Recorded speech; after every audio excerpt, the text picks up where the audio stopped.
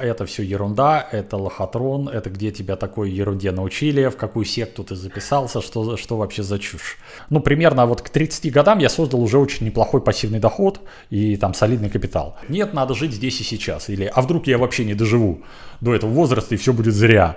Как правило, вот те, кто говорят, что жить здесь и сейчас, это они за этим прячут просто нежелание заниматься этим.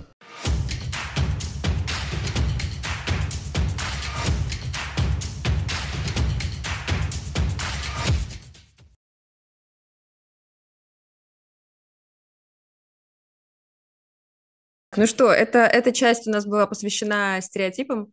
Вот, давайте двинемся дальше, э, поговорим немножко предметнее, э, потому что меня все-таки вот э, в первой части мы говорили про активные и пассивные, ой, нет, актив, да, активные и пассивные расходы, да, у нас было? Доходы. Вот, да, и у меня такой вопрос, вот правильно ли я понимаю, что все-таки финансовая грамотность, ну, в двух словах, как я сейчас услышала, это сбалансировать эти самые доходы и расходы условные. Ну, то есть как хотя бы для себя. Не то, что сбалансировать, потому что а, баланс подразумевает, что они будут равны. А должно э, прийти к такому формату, то есть начать контролировать свои деньги и прийти к формату, когда у вас каждый месяц, в конце месяца есть некий излишек, который вы направляете на создание своего финансового будущего. Ну, пока вы как бы строите капитал. Когда вы уже накопите определенный капитал, вы можете с него жить просто вот на пассивный доход с процентов, неважно, там будет он лежать на депозитах, в облигациях, в недвижимости, где-то еще. Ну, излишек это какой процент? 10-20% считается таким оптимальной цифрой от своего дохода. Почему? Потому что а, 10%, если у вас вычесть 10% доходов, то есть, допустим, человек зарабатывает, неважно, я всегда вот очень осторожен, скажешь большую цифру, скажут, из регионов люди начинают жаловаться, вот вы там в Москве зажрались, скажешь, наоборот, московские цифры, э, в смысле низкие, москвичи говорят, да где такое вы видели? Но давайте что-нибудь там, а, 70 тысяч рублей, если человек а, зарабатывает 70 тысяч и привык на них жить, то он точно так же и на 60 3 и 60 проживет. Его жизнь серьезно не ухудшится от того, что вот этот кусочек э, будет отрезан.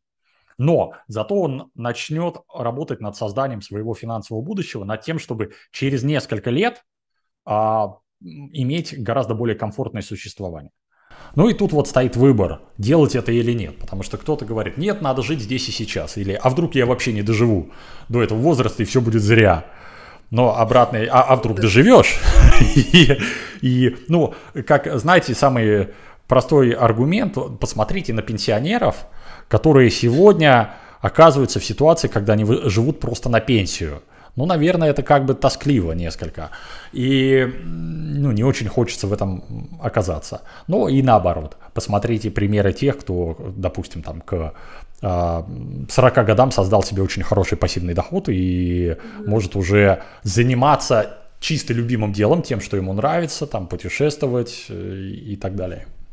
Вот, вот, я очень часто думаю, кстати, об этом, потому что мне кажется, что многие наши там здания, ровесники, условно, или люди, которые там в одной сфере примерно с нами существуют, а, они как раз могут говорить о том, что вот, мы живем один раз, надо тратить, ты, если, чем больше ты тратишь, тем больше тебе возвращается, вот, mm-hmm. и вот эти вот все штуки, о которых и, и говорят там какие-то условные инста-коучи, что тебе нужно как-то настраивать денежный поток, и вот эта вот вся история, вот, но при этом мы тоже как-то с Даней говорили об этом, что но при этом у тебя же должна быть какая-то база, чтобы эти деньги все равно к тебе возвращались. Вот как с этой установкой быть, когда все вокруг говорят, а, да боже, мы же все, прости господи, извините, а, завтра умрем, это мы можем э, э, вырезать. Вот, и, значит, а, нужно жить здесь и сейчас.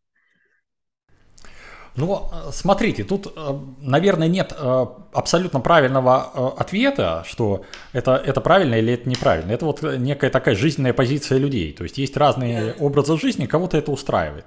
Но меня как бы не очень устраивает. То есть что делать, если вы видите, что вот вас как-то ну, не очень воодушевляет эта идея, то менять окружение. Потому что наше окружение очень сильно определяет в том числе и наш доход. Есть простое упражнение – возьмите э, составьте список 10 людей, с кем вы больше всего общаетесь, коммуницируете там, коллеги по работе, родственники, друзья, кто-то еще. Э, напишите напротив каждого примерный уровень дохода. Ну, вы, наверное, может быть, точно не знаете, но примерно представляете, там, Вася 50 тысяч рублей, там, Михаил Иванович 120, там, кто-то еще. И вот у вас 10 человек, 10 доходов, сложили и усреднили, разделили на 10. То есть средний доход вашего окружения. А, вот если вдруг вы нас смотрите или слушаете, очень рекомендую взять, просто поставить на паузу и быстренько это сделать, проделать упражнение. Интересно будет сравнить. И затем сравните это с вашим уровнем дохода. Скорее всего, а, эта сумма будет очень близка к вашему доходу. То есть мы такие, потому что человек – существо стадное. Он такой, как, как в среднем, как люди вокруг него. Ну, за редкими исключениями. И соответственно, если вокруг тебя все вот с такими установками, что надо жить здесь и сейчас, то и ты будешь думать, наверное, это правильно.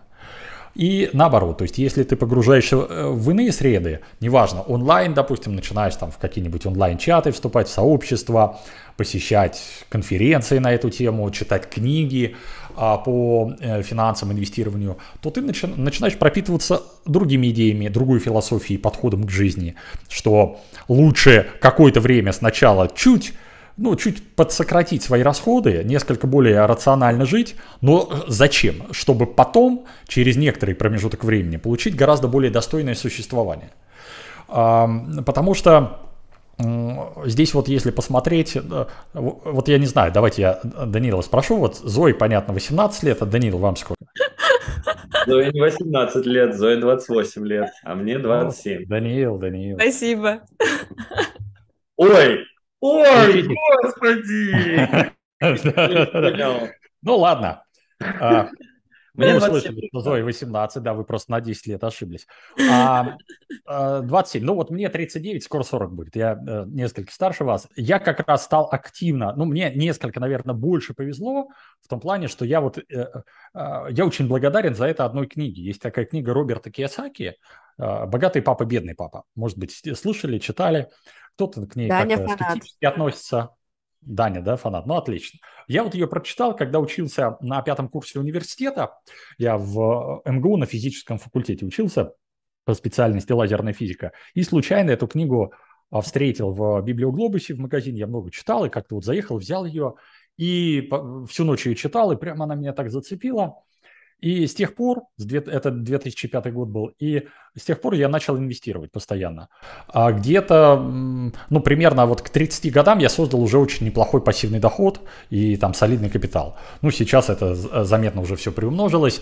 И э, я понимаю, что для меня эти идеи очень как бы близки, это правильный путь. Плюс Э, ну, я и вращаюсь в сообществах. Вот я, например, являюсь основателем инвестиционного клуба «Финанс-1». У нас около полутора тысяч человек. И люди, которые как бы тоже считают такой подход правильным, что сначала ты какую-то часть откладываешь, но зато потом этим пользуешься. Потому что жизнь все-таки не заканчивается через там, ну, в 40 лет. Надеюсь. Конечно, есть риск, что там не доживешь, но все-таки шансы, что доживешь, намного больше. И здесь, наверное, стоит посмотреть примеры, просто и а, постараться поискать вокруг примеры тех, кто там, э, спустя 10 лет вот так жил активно, тратя все, что есть, и тех, кто, наоборот, кто откладывал и создавал свое финансовое будущее. Причем и, и сравнить, насколько вас это там устраивает, не устраивает. А, потому что как правило, вот те, кто говорят, что жить здесь и сейчас, это они за этим прячут просто нежелание заниматься этим.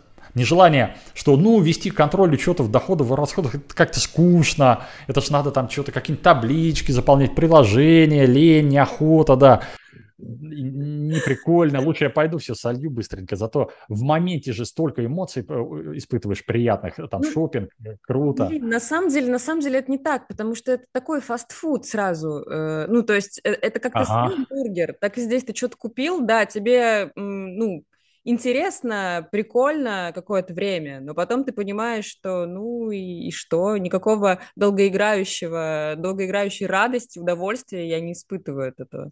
И вот тут это тоже интересная штука. Но потом ты понимаешь, что с этой штангой ты позанимался два раза. Да, да, да, да, да. Вот она да. стоит в углу, уже два года, и продать жалко, и не занимаешься. Я... Ну, да.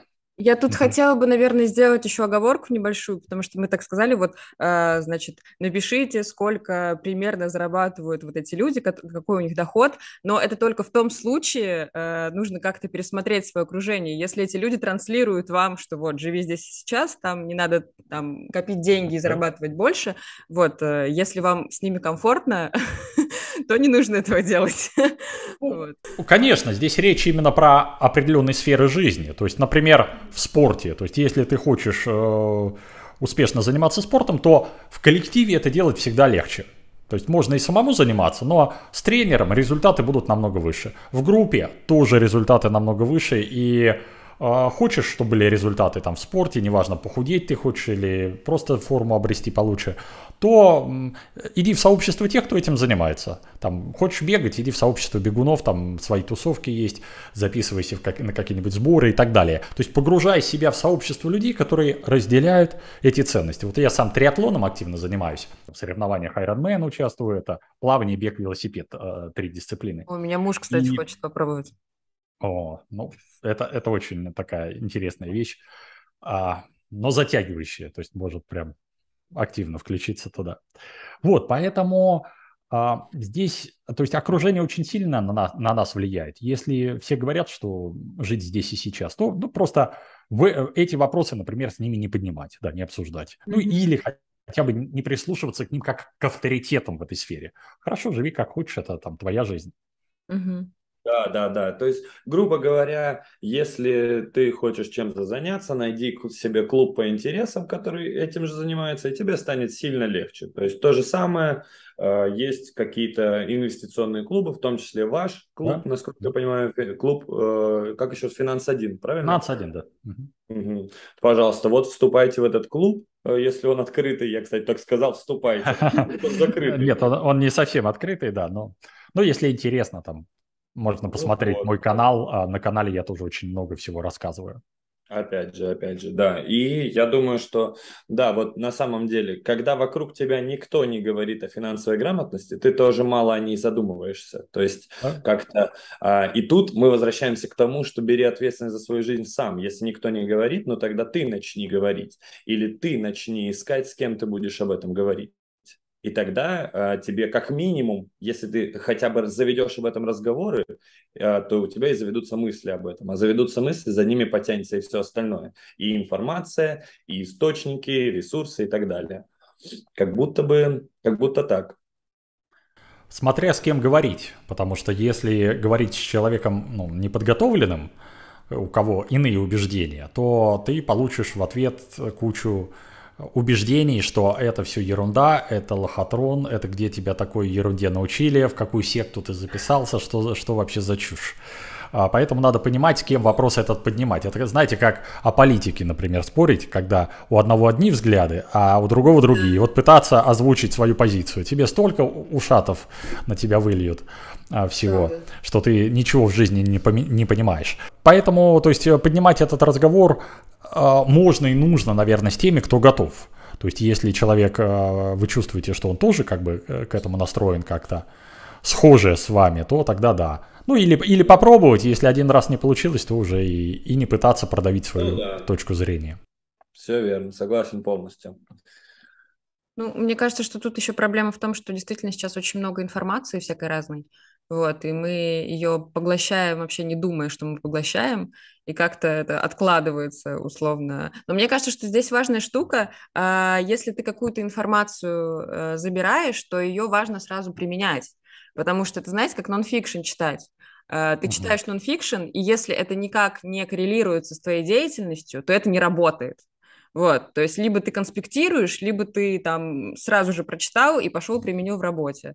Так и здесь, э, при любых разговорах, при любом комьюнити и так далее. Uh-huh. Да, я просто хотела немножко вернуться к тому, как привить финансовую грамотность uh-huh. ребенку, а, потому что у меня есть, например, стереотип, что мы свои финансовые привычки принимаем у родителей так или иначе. А у наших родителей, как мы уже обсудили, этих финансовых привычек, ну, как правило, нет. Либо они есть в таком очень очень, э, ну, в таких жестких рамках, потому что мне до сих пор родители иногда говорят, как мне нужно распоряжаться своими деньгами, а я начинаю с ними спорить. Вот, и насколько это действительно так, и в каком возрасте тогда сейчас стоит говорить э, о деньгах э, с детьми, и как это делать? А я считаю, что, конечно, стоит, и действительно, дети в основном перенимают привычки своих родителей, как хорошие, так и не очень хорошие. А, и говорить, когда стоит говорить? Ну, э, на мой взгляд, как можно раньше. То есть э, даже уже там лет в 6 вы приходите в магазин, ребенок что-то хочет купить так, вот тебе деньги, дали там бумажку какую-то, бери, покупай, иди сам расплачивайся на кассу и сам оплати и посчитай там, сколько тебе сдачу дали. Ну, если может считать, не может, ну, хотя бы просто а, рассчитать. В следующий раз пришли там чуть постарше уже. Так, давай, ты вот, э, тебе что-то в магазине надо купить, давай, составь список, что тебе надо, посмотри в интернете, сколько это стоит и сколько тебе на это денег нужно. Затем открыли сейчас детские карточки делают в банках, то есть ты можешь к счету привязать детскую карту, ну, которую можно там контролировать, лимитировать, и э, даешь уже ребенку карту, чтобы он сам, то есть э, принятие ответственности, что деньги не сваливаются откуда-то неизвестно откуда. Такое очень часто во многих семьях происходит, что детей к деньгам не подпускают, просто вот они попросили, что-то появилось, попросили, появилось. И это как вот история, когда э, какое-то племя в Юго-Восточной Азии а, жило-жило себе как-то нормально, и потом туда при, э, пришли американцы и построили там военную базу. И там э, происходило следующее. Каждый раз, когда прилетал самолет, э, им, этому племени, приносили э, как-то с местными племенами, ну, в общем, что их чуть-чуть подкармливали, приносили какую- какую-то вкусную еду э, за, ну, типа как компенсация за местный, за разрушение среды. И в итоге местные племена стали каждый раз, как самолет садится, молиться этому самолету, что самолет, что самолет является источником их благ. А так и дети тоже, они часто, не, ну, для них ощущение, что вот просто как-то оно появляется и все. То есть нету эквивалента того, что чтобы что-то купить, нужно, за, нужно вложить свой труд. Ну вот расскажу пример, как мы, помимо того, что контролировать расходы, и чтобы ребенок сам уже мог себе что-то покупать, даже если вы ему деньги переводите, но чтобы он хотя бы уже считал это, видел, сколько что стоит. Следующий шаг мы, например, со старшим сыном, ну и с девочками, вот у нас два сына, две дочки, и э, со старшим сыном мы в 6 лет стали делать табуретки. То есть что мы делали? Я покупал в Аби табуретку, сейчас не знаю, продают, не продают, ну, где-нибудь, в общем, э, комплект табуретки, он ее скручивал, собирал, скручивал, затем рисовал а, там какой-то рисунок на табуретке, потом выжигательным аппаратом выжигал этот рисунок, потом красил и покрывал лаком. И получалась такая красивая табуреточка раскрашенная. Ну, конечно, там рисунок так себе был, но все равно. И вот покупали мы за 500 рублей, и все, все вот это уже потом собранное, готовое, красивое продавали за 1500. А, и вот первый раз мы так сделали, то есть собрали эту табуреточку с ним вместе. Ну, естественно, я помог ему найти покупателя это первого, э, кто был готов э, купить эту табуреточку.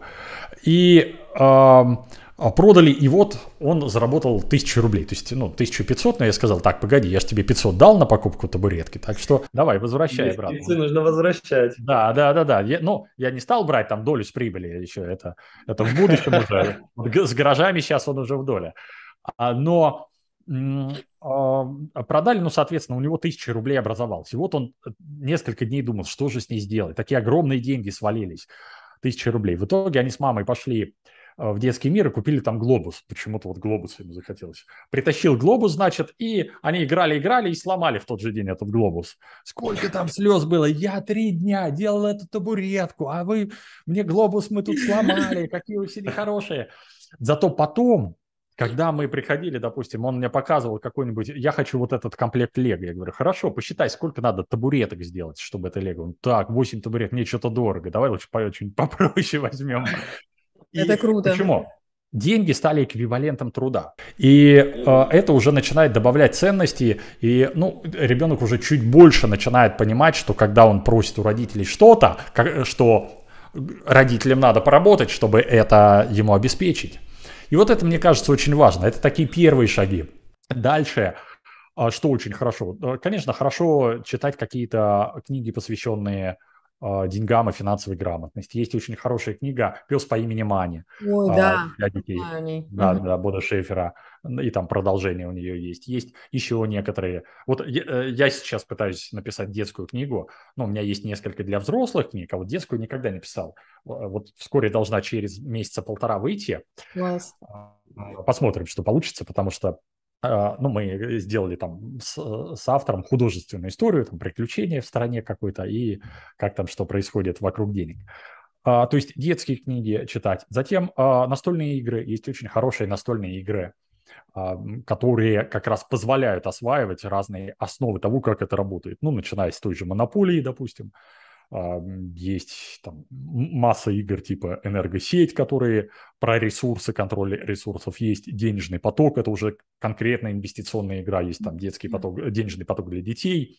Ну, то есть есть большое количество игр, которые вот как раз позволя- э, позволяют попробовать разные сценарии поведения, и чтобы ребенок понимал, что есть не только единственный путь устроиться на работу и просто надеяться на то, что ты вот а, от дохода на работе будешь эм, а, преуспевать. Но а, есть еще иные пути.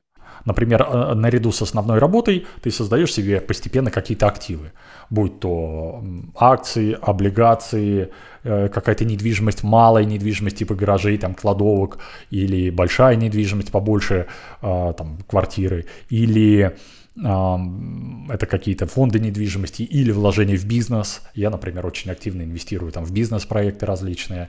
И вот так вот через игры это позволяет э, попробовать. Затем, ну если получается, сейчас начинают появляться различные э, детские лагеря на тему финансовой грамотности или вот группы, ну вот типа вот как мы в нашем инвест-клубе, как раз мы сделали для детей, членов клуба, такую детскую группу, у нас там специальные тренера, психологи, которые наблюдают за тем, как дети играют и дают обратную связь родителям. Ну и плюс, конечно, обсуждать это с детьми, то есть не скрывать от них вопросы денег, потому что часто родители как-то избегают общаться с детьми про деньги, что Типа, да нет, надо их держать подальше, особенно если есть какие-то трудности финансовые, что не-не-не, пусть они как бы в ну, неведении. Это тоже остаются. про страх, да. Может быть, боятся, может быть, считают, что лучше детей оградить, чтобы у них счастливое детство было, но э, здесь, мне кажется, наоборот, что лучше как бы обсуждать это все и открыто показывать и рассказывать, чтобы дети, ну, чем раньше они начнут это понимать, тем проще будет потом, потому что надежда на то, что да нет, давайте вот до 18 лет мы детей оградим от этого, а вот потом они сами как-то научатся. Она такая иллюзорная. Угу. В 18 лет оказывается, что человек как бы выходит вроде как в свободную жизнь, а совершенно к ней не готов. Угу. И э, начинает ее с нуля, и это как бы не очень. Вот я, у меня одна из деятельностей, я преподаю в ВУЗе, доцент в экономическом университете, и Э, я смотрю иногда на то, как проходят, вот э, летом сейчас, а, например, проходят приемные комиссии. Очень часто, вот чуть ли не каждый третий студент, 18-летний там юноша или девушка, их вот мама за ручку приводит туда. То есть вроде это как бы уже взрослый самостоятельный человек должен быть, но нет. Ты понимаешь, что там все решения полностью, это вот все родители еще принимают, и этот человек совершенно не самостоятельный. Мне хотелось бы, я очень надеюсь, что это получится вот с моими детьми. У нас младший, вот самый старший, 12 ему будет, следующий потом 9, 6 и 4 у нас детям лет. И э, что к 18 годам, чтобы этот человек был уже достаточно самостоятельным, чтобы он мог принимать некие разумные взвешенные решения, чтобы он в этот момент уже мог что-то себе зарабатывать, какие-то доходы, пусть не очень большие, но э, тем не менее. Ну, вот как-то так. А, вообще восхищен вами. А, вы инвестор, вы преподаватель в ВУЗе, вы а, следите за всеми источниками пассивного дохода, у вас четверо детей. Боже, Просто. Мы тут не знаем, как это тайм-менеджмент выстроить, да? Четверо детей это не мне, да, это, это, это все моя супруга, да. Ей благодарность, я лишь приложил к этому руку. Хорошо, Николай, вот э, последний, наверное, вопрос на сегодня. Скажите, пожалуйста, у нас есть э, рубрика «Что почитать?» И наши гости советуют, что почитать. Я вижу, у вас на заднем фоне есть книга, которая называется «Разумный инвестор». Да. Э, скажу заранее, я знаю, что это ваша книга, пожалуйста, посоветуйте это не ее. моя, это, это не моя, это Бенджамин Грэм, сильно до меня. А, а у вас есть моя другая, стратегий. Да, я на великих пока не, не замахиваюсь. Вот, 40 инвестиционных стратегий управления деньгами. Ее могу порекомендовать, да, это моя книга. Она такая интересненькая, вот с QR-кодами, там просто в каждой главе идет еще много до, дополнительных видео, если интересно, чтобы можно было посмотреть, да, то есть ты сканируешь и, и смотришь видос, где ну, что-то дополнительно поясняется, чтобы более глубоко. Ну, что, да, как бы порекомендую вот свою книгу из, сейчас я посмотрю, что а, вот Грэм «Разумный инвестор» это не для начинающих, это такая очень тяжеловесная книга, а, вот это хорошая книга «Психология денег», вот как раз про стереотипы, очень хорошая. Правда, не знаю, вы, по-моему, э, это зеркально видите, да, наверное, криво да, она отображается. Нормально. Ну, Кесаки, «Богатый папа, бедный папа». Это вот для, для меня стало переломной книгой просто. Хотя тут э, такие база, но база очень важная, чтобы понимать, как что работает. Так, а, а, вот эта великолепная книга, она такая тоненькая, небольшая. А, «Самый богатый человек в Вавилоне». Вот это просто прекрасная книга в виде таких а, рассказов, притч, можно сказать, которые много чему что показывают. Вот эта книга мне очень понравилась. «Богатство семьи» называется. Это как раз про то, как, как детей правильно приучать. То есть, если вы хотите, чтобы ваши дети тоже преуспели, то есть как это выстроено в семьях, которые сумели на протяжении многих поколений приумножать свое благосостояние. Потому что очень частая проблема, что если первое поколение, допустим, человек а, финансово преуспел, создал большое состояние, то передавая дальше, его дети уже очень быстро все транжирят и сливают. И э, ну вот здесь описано как раз, как, как с этим работать. Про тайм-менеджмент вы спросили. Давайте я... Про тайм-менеджмент у меня тоже есть. Вот экстремальный тайм-менеджмент. Это как раз как, как успевать все. тоже художественная история. Ну вот так, несколько книг э, набросал. Да, для детей Боду Шефер э, Мани, пес по имени Мани. Вот почитайте. Супер. Спасибо вам большое. Э, мне кажется, что мы разбили много стереотипов о деньгах сегодня и даже получили практические советы, что делать, если ты сам оказался в какой-то трудной финансовой ситуации и э, отследил это за собой. Спасибо вам, Николай. И главное, не забывайте брать на себя ответственность, если что. И не если что. В общем, спасибо большое, Николай. Э, классный разговор. Данил, Зоя, спасибо, благодарю вас. Все, до свидания. Супер.